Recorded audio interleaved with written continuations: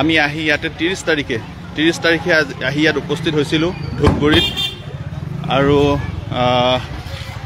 এই ইয়াত মানুহ কিছু এইটো এটা পেট্ৰল পাম্প হয়। ইয়াত মানুহ কিছু মানে বেছি গেডাৰিং হৈ গৈছে। আজি সেই তিনিদিনৰ পৰা মানুহৰ এটা সমাগম ইয়াত পৰিলক্ষিত হৈছে। আৰু যি কি নহওক ওপৰে উৰি ফুৰা বস্তু যেতিয়া হাইৱে দি আহে অকণমান হ'লেওতো মানুহৰ ইচ্ছা যায় চাবৰ কাৰণে। সকলোকে নমস্কাৰ জনাইছোঁ। সমূহ অসমবাসী ৰাইজক। নৱবৰ্ষৰ আন্তৰিক শুভেচ্ছা জ্ঞাপন কৰিছোঁ।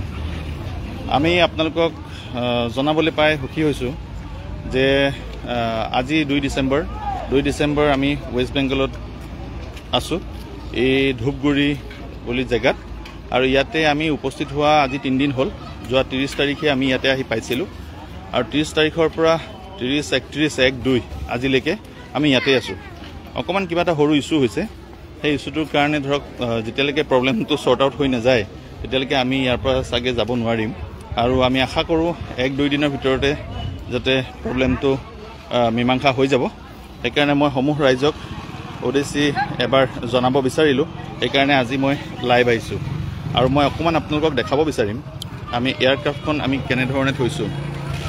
এইখন আমাৰ এয়াৰক্ৰাফ্ট অসমবাসীৰ কাৰণে আহি আছে। এইখন এয়াৰক্ৰাফ্ট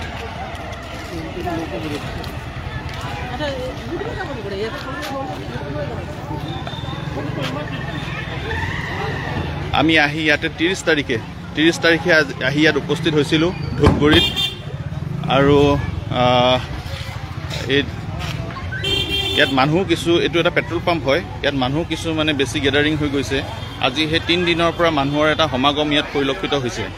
আৰু যি কি নহওক ওপৰে উৰি ফুৰা বস্তু যেতিয়া হাইৱে দি আহে অকণমান হ'লেওতো মানুহৰ ইচ্ছা যায় চাবৰ কাৰণে। তো সকলো আহিছে আহি চাই আছে।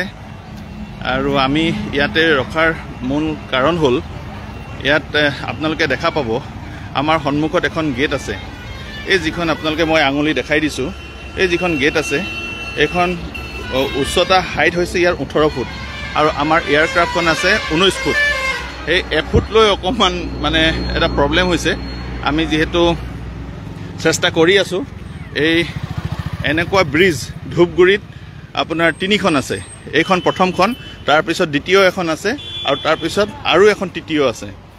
আৰু এনেদৰে আমি লৈ আহিছোঁ আহ, সমস্যা হৈছে কিন্তু অসমবাসী ৰাইজৰ আশীৰ্বাদত ইমানখিনি পাৰ কৰিছোঁ আৰু আমি আশাবাদী যাতে আমি আৰু পাৰ কৰি ল'ব পাৰিম। এই আপোনালোকক অকণমান আভাস এটা দিয়াইছোঁ। সকলোকে দেখা পাবলৈ সুবিধা কৰি দিছোঁ। ফেচবুক লাইভৰ জৰিয়তে। আমি যিমান সোনকালে পাৰে অসমৰ মাটিত কেতিয়াকৈ ভৰি দিব পাৰিম তাৰ প্ৰচেষ্টাত আছোঁ। আৰু যোৱা ত্ৰিছ তাৰিখৰ পৰা আমি এই জেগাতেই এই জেগাতেই এই পেট্ৰল পাম্পতেই এনেকৈ আমি আছোঁ। আমাৰ এজন বাৰজনীয়া টীম আছে আৰু সকলোৱে কাম কৰি আছে। আৰু আমাক ইয়াত সকলোৱে সহযোগ কৰিছে। Railway department P W D department local থানা আদি সকলোৱে আমাক সহযোগ কৰিছে। আৰু লগতে আমি লৈ আহিছোঁ ইয়াৰ লগত এখন উইংছ। উইংছ মানে আমাৰ যিখিনি দ্বিতীয়খন ট্ৰেইলাৰ সেইখন আপোনালোকক দেখাব বিচাৰিছোঁ। এইখন ট্ৰেইলাৰত উইংছখিনি লৈ অহা হৈছে। সকলোখিনি এতিয়ালৈকে মুম্বাইৰ পৰা আহি আহি আহি আহি প্ৰায় তেইছশ কিলোমিটাৰ তেইছশ কিলোমিটাৰ অতিক্ৰম কৰিবলৈ সক্ষম হৈছে আৰু সকলোখিনি সুকলমে আহিছে। ক'ৰবাত অকণমান অকণমান জখম হৈছে কিন্তু চিন্তা কৰিবলগীয়া বিষয় নাই। এয়া আপোনালোকক দেখাইছোঁ। এই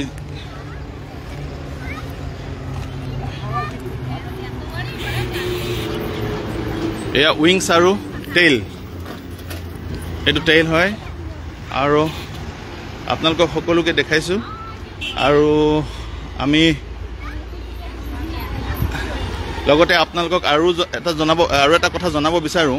ইতিমধ্যে এয়াৰক্ৰাফ্টখনৰ লেণ্ডিং গিয়েৰ আমাৰ শিৱসাগৰত উপস্থিত হৈছে যিখন তিনি নম্বৰ গাড়ী আছিলে। আৰু সেই এয়াৰ লেণ্ডিং গিয়েৰ মানে যিকেইটা চকালৈ বিমানখন অৱতৰণ কৰে বা যিকেইটা চকালৈ বিমানখন উৰিবলৈ। সেই চকাকেইটা ইতিমধ্যে আমাৰ আহি পাইছে শিৱসাগৰত। তাৰ কাৰণে মই সমূহ যিকেইজন ড্ৰাইভাৰে লৈ আহিছে তেওঁলোকক ধন্যবাদ জনাইছোঁ। আৰু এওঁলোককো লগত আমি সম্পূৰ্ণ সহযোগ কৰি আছোঁ।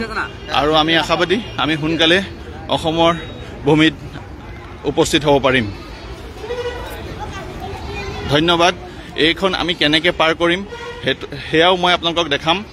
ইতিমধ্যে আৰু হয়তো ইভিনিঙৰ ফালে ইভিনিং ছয়টাৰ পৰা দহটা বজাৰ ভিতৰত আমাক সময় দিছে। সেই সময়সীমাৰ ভিতৰত আমি সেই গেটকেইখন উঠাবৰ কাৰণে ডিপাৰ্টমেণ্টৰ মানুহ আহি সেই গেটকেইখন উঠাব আৰু তেতিয়াই আমি এই ক্ৰাফখন আমি পাৰ কৰিব পাৰিম বুলি ভাবিছোঁ। আৰু তেতিয়াই আমি লাইভ আহিম আৰু সমূহ ৰাইজক আমি দেখাবলৈ চেষ্টা কৰিম। ধন্যবাদ।